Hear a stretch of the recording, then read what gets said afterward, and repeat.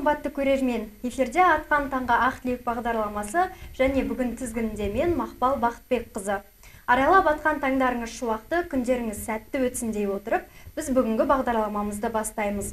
Бүгінгі біздің ә, студиямыздың қонақтары электротехника колледжінің жұмыспен қамту және мәнсап орталығының меңгерушісі ә, ерғалиева ақмарал айдынқызы және электротехника колледжінің студенті колледж президенті озат оқушы көптеген конференция және олимпиада жүлдегері ә, нұрбол жүнісов. Қош келдіңіздер. Ә, көңіл күйлеріңіз қалай? Өздеріңізді таныстырып өтсеңіздер. Өздеріңіз туралы айтып кетсеңіздер. Рахмет. Көңіл күйіміз өте тамаша жақсы. Біз электротехника колледжінің жұмыспен қамту және мансап бөлімінің меңгерушісі және таныстырып өткендей біздің ең алдымен колледжді таныстырып өткім келеді. Біздің колледж электротехника колледжі 1954 жылы негізі қаланған жетпіс жылдық тарихы бар мемлекеттік колледж. Біздің колледжға осы жылы жетпіс жылдық мерейтойы ә, тойланғалы отыр. Соған орай 2024-2025 ә, оқу жылына өте көп гранттар бөлініп отыр ә, және де көптеген іс шаралар жоспарланып отыр. Біздің колледжда екі біліктілік бойынша білім беруде ол жұмысшы біліктілігі және де техник біліктілігі. Ә, біздің колледждің мамандықтары қазіргі таңда еңбек нарығында сұранысқа ие мамандықтар. Ә, біздің колледждің ә, мамандықтар өзі төрт бағытта оқытылады. Ол IT мамандығы, электрик мамандықтары, дәнекерлеу ісі, жыды мамандықтары. Ә, біздің колледжда, ә, колледждің ә, оқушылары да, оқытушылары да әртүрлі конкурстардың жүлделі егерлері халықаралық облыстық мемлекеттік көптеген біздің жүлделі орынға ие колледж мақтап айтыламыз. Біздің колледждің студенттеріне өте көп барлық жағдай жасалынған. Міне 2024-2025 оқу жылының да көп грант бөлініп отыр. Тегін тамақтану шәкіртақы ә, тегін білім алу жатақхана және де колледжімізді бітіргеннен кейін жұмыспен біз өзіміз қамтамасыз етеміз. Ә, біздің колледждің студенттерінде қазіргі заманауи білімдермен ә, қамтамасыз етілген. Ә, сонымен қатар міне біздің студентіміз ә, нұрбол өзі білім алып жатыр. Сонысымен сіздерге қазір таныстырып кетеді. Сәлеметсіздер ме? Менің есімім жұныс нұрбол. Электротехникалық колледждің үшінші курс студентімін. Қазіргі таңда электрмен қамтамасызданушы мамандығында э, оқып жатырмын. Э, және де IT мамандықтарында білім алудамын.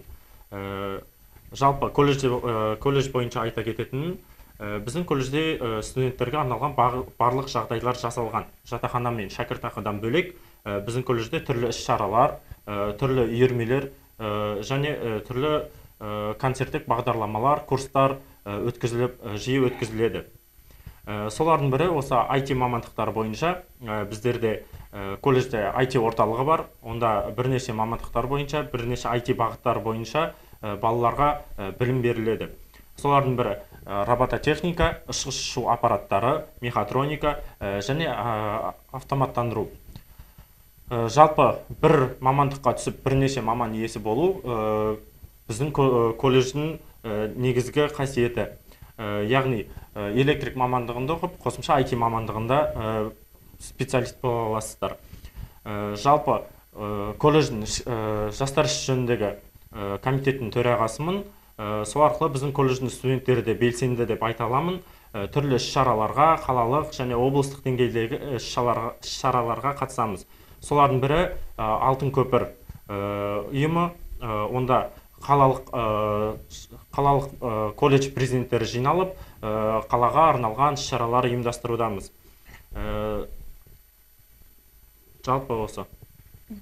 Ақмарал айдынқызы сізге қойып кетсем. Қазір талапкерлерде мамандық таңдаудан қиындықтар туындайды. Осы туралы айта кетсеңіз. Кәсіби бағыт бағдар берудің негізгі басты мақсаты бұл ә, оқушылардың ә, кәсіби қызығушылықтарын арттыру және де мамандық таңдауда біз олар оқушыларға көмектесу мамандық таңдаудан қателеспеуі. Біз семей қаласының барлық мектептерін ауыл аймақтардың мектептерін жас түлектермен кәсіби бағыт бағдар беру жұмыстарын жүргіздік. Бұндағы енді ең басты біздің проблемамыз бұл балалардың өз мамандықтарын таңдауда шешін бекіте алмауы. Ә, балалардың ә, мамандық таңдаудағы шешімін көбінесе ата аналары ә, қолдайды. Сондықтан бізге көбінесе жұмысты ата аналармен жасау керек болды. Ә, біз ата аналар жиналысына да қатыстық. И біз қазіргі кезде айтқымыз келетіні балалардың ә, мамандық таңдаудан қателеспеуі. Ә, себебі ә, қазіргі таңда еңбек нарығына сұранысқа ба, мамандыққа бар мамандықтарды балалар таңдаса дейді. Ә, кәсіби бағыт бағдар беру жұмысының басты мақсаты бұл ә, оқушылардың кәсіби, ә, кәсіби қызығушылықтарын арттырып өз мамандықтарын таңдауда қателеспеуі. Себебі бұл мамандық дегеніміз үлкен жауапкершілікті талап ететін еңбек еңбегіміз. Бұнда біз балалардың әрбір мамандықтармен таныстырып өздерінің қалаған мамандықтарымен жүрек қалауларымен таңдап сол мамандықты бітіріп білікті маман иесі болып шығу кәсіби бағыт бағдар беру жұмыстарын біз семей қаласының барлық мектептерін ауыл аймақтарды аралап оқушылармен кәсіби бағыт бағдар беру жұмыстарын жүргіздік. Ә, сонда бізде көп кездесетін қиыншылықтардың бірі ә, оқушылардың өз мамандықтарының таңдауда ә, шешім қабылдай алмауы. Бұл дегеніміз ә, балалардың 90 пайызы ата аналар таңдап береді мамандық сол мамандықта балалар барып оқиды. Ол дегеніміз балалардың өзінің жүрек қалауымен бармайды өздерінің қалаған ісі емес ә, содан ол мамандық тоқталып қалады. Мүмкін білден екі үш мамандық иесі болып шығуы мүмкін.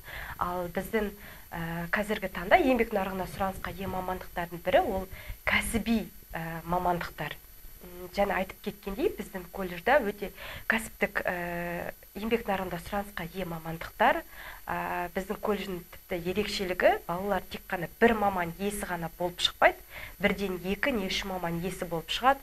Бұл дегеніміз мысалға балалар электрик мамандығын оқып жатып қосымша ә, дәнекерлеу ісі маман иесі не болмаса IT маман иесі ә, мамандықтарын біліктілігін алып шыға алады. Елімізде 40 пайыз адамдар өз мамандығы бойынша жұмыс істейді екен. Ә, бұл туралы көзқарасыңыз қандай және бұл процеске кірмес үшін не істеу керек? Ә, ол үшін жаңа айтып кеттік ә, өз мамандығы бойынша жұмыс жасамайды 40 пайыз. Себебі олардың ата аналары таңдайды. Ә, балалардың ә, қазір қандай мамандыққа істегісі келеді десек енді шыны керек балалар ә, жеңілдің үстімен жүргісі келеді. Ә, негізінде ең төменнен бастап жоғарыға қарай көтерілген дұрыс деп ойлаймыз. Ә, мысалға біз ә, мақтанып айта аламыз біздің колледждің түлектерімен. Ә, мен өзім мақтанып айтатынымыз ол біздің ә, сарпеков азат толқынұлы біздің колледжіміздің туре мамандығын тәмамдеп ә, өзінің біліктілігімен ә, жоғарғы оқу орынға түсіп ә, одан кейін біздің колледжда мастер болып жұмыс қызмет атқарды колледжіміздің директоры болды қазір жоғарыда отыр. Сондықтан мен айтатыным ол мамандық таңдаған кезде қазір еңбек нарығында прям тапшы мамандықтар қай жерге бармайсыздар? Электриктер керек. Қай жерге бармайсыздар? Дәнекерлеу ісі сонымен қатар IT программаларды құрастыру ә, сол мамандықтарға балалар барып сол мамандықтың ә, жоғарылап өздері шыңдап сол мамандықтың үлкен біліктілігіне дейін жеткізіп білім алса дейміз. Бірден жоғарғы оқу орнына бармай ә, мысалға ол дамыған елдер ә, сингапур қаласын десек ә, сонда оқушылар көбінесе кәсіби мамандықтарды таңдайды. Ә, кәсіби мамандықта олар зерттеп біліп оқып барып жоғарғы оқу орнына түседі. Ал бізде қазір қалай балалар сразу жоғарғы оқу орнына түскісі келеді. Сондықтан сол жаңағы айтып отырғанымыз жақсы рахмет. Енді оқушыларда қазір мамандық таңдауда қандай қиыншылықтар кездеседі? Ә, жалпы айта кететін болсақ жалпы оқу мектеп қабырғасын бітірген оқушылар ә, студенттік өмірге қадам баспай тұрып бірінші мамандық таңдайды. Мамандық таңдаған кезде әрбір әрбір оқушы енді өзінің қалауы бойынша емес жаңа айтып өткендей ата аналардың нұсқауы немесе достарының нұсқауымен бойынша ә, мамандық таңдайды. Ә, бұл дұрыс емес деген ойдамын. Ә, және де үйінің қасындағы немесе енді тұрмысқа өзіне ыңғайлы бір оқу орындарын таңдайды олар болашағын ойламайды. Қазіргі таңда бірінші мамандық емес бірінші дұрыс оқу орнына қарау керек. Менің ойымша өйткені сен оқу орнында қандай мамандық болса да оқу орнында беретін, беретін білім бөлек болады әрбір оқу орнында. Ә, мысалға біздің колледжде ә, біз бір ғана мамандықты оқытпаймыз біз бірнеше бағытты оқытамыз балаларды. Және балаларды ә, біз әрбір студенттерге жеке жеке білім береміз. Яғни ә, әрбір студенттің өзінің жеке қасиеттері болады және жеке ұнататын істері болады. Ә, мысалға мен өзім электрик мамандығында яғни мен шұқыма жұмыстарды жақсы көремін. Ә, сондықтан мен электрик мамандығын таңдадым. Ә, және де құлшынысым осы болашақта енді болашақ қазіргі таңда IT мамандықтарында ғой. Ә, сол IT мамандықтарында ә, оқығым келді. Ә, және мен осы электротехникалық колледжде электрик қана емес осы IT мамандықтарында IT маманы болып оқып жатырмын. Қазіргі сол IT мамандықтарында көп жетістіктерге жеттім. Олардан шу аппараттары өзім қолдан робот құрастырдым дрондарды құрастырдым. Және түрлі осындай жарыстарға қатысып жеңімпаз атандым. Енді қорытындылай кететін болсақ ә, жалпы енді мамандық таңдау кезіндегі ә, қателесетіндері ол сол оқу орындарын дұрыс таңдамауы ә, екіншіден өзінен қалауы емес ә, басқа мамандыққа түсіп кетуінен болады. Ал енді нұрбол осы өзіңмен бірге алып келген роботыңмен таныстырып өтсең? Ә, бұл бізде колледжде ә, білім беру, беруге арналған робот ә, аты робомастер аталады. Қарапайым тілде робот күшіктер ә, бұл бізде не істейді бұл енді келген студенттер яғни бізде IT мамандықтарын ә, мектеп қабырғасында ғана біліммен ә, яғни қатты білмейді программаны программалауды білмейтін студенттерге осы робот арқылы үйретеміз. Бұл роботта өзінің миы бар яғни кішкентай шағын компьютер орналасқан. Сол компьютер бойынша біз оны бағдарламаламыз бағдарламалаймыз ә, және оны басқарып ә, түрлі ойындар ойнауға да болады. Енді жаңадан келген жас баланы қызықтыру үшін ә, ең алдымен ойын сауық түрінде ә, жүру керек. Ә, көріп тұрғандарыңыздай робот ә, танк іспеттес жасалған яғни бір бірімен атысып ойын сауық түрінде де қолданылады. Бірақ ең бастысы бұл роботтың құрастырылып шығаруы балаларға білім беру. Бұл ә, жалпы енді қазіргі таңда көп жерде білім құр компьютерде ғана отырып сол бағдарламаны жазумен өтеді ғой. Ал біздің колледжде сол тәжірибеде ә, теорияда алған білімді осындай роботтарда тәжірибеде тексеріп көре алады. Яғни бұл роботтың түрлі ә, мүмкіншіліктері көп. Ә, сол арқылы олар білімдерін ә, программаның жалпы базасын және ары қарай дамуға арналған логикасын ұғады. Бұл роботтың дөңгелектері де ерекше ә, бұл дөңгелектер колеса илона деп аталады. Ә, көріп тұрғандарыңыздай дөңгелектер әртүрлі орналасқан. Ол бізге оң жаққа сол жаққа және 300 өз орнында 360 градусқа айналуға көмектеседі. Және бұл роботта көптеген датчиктер орналасқан. Бәріміз тесла машинасын білеміз ғой иә? Ол автопилот режимі бар яғни алдыда жүрген машинаның артынан жүре алады. Бұл роботта соны ә, жасай алады. Бірақ бұл роботта тесладағы секілді емес бірақ камера орналасқан яғни адамның артынан еріп жүре алады. Искусственный интеллект. Осының бәрін ә, біздің колледждегі студенттер жасады. Көп көп рахмет. Ал енді алтын уақыттарыңызды бөліп келгендеріңізге үлкен рахмет. Көрермендерге өздеріңіздің жылы лебіздеріңізді білдірсеңіздер болады. Ә, сіздерге біздер шақырғандарыңызға рахмет біріншіден. Ә, осындай керемет сұхбат болды. Ә, екіншіден талапкерлер назарына айта кететін болсақ ә, осы электротехникалық колледжде ә, жалпы ә, оқушылардың болашағына да өзіне де қажетті маман ә, мамандықтар бар. Бүкіл жағдайлар жасалған. Жалпы колледжде бір мамандыққа түсіп бірнеше маман иесі болуға болады. Ә, жалпы енді қорытындылай кететін болсақ ә, электротехникалық колледжін таңдаған студенттер еш өкінбейді деп ойлаймын. Шақыруларыңызға рахмет көп көп. Ә, ең алдымен талапкерлерге өз мамандықтарын таңдаудан қателеспесе екен деймін.